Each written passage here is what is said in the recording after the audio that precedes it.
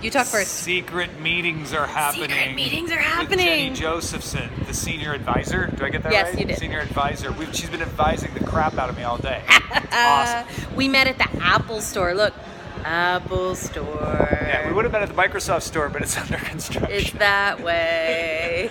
Uh, but yeah, lots of ideas for the Normie show. Lots Mm-hmm. of ideas for new ways to promote the show. Mm-hmm. And, uh, know, keep an eye on your Patreon for more information. Bye.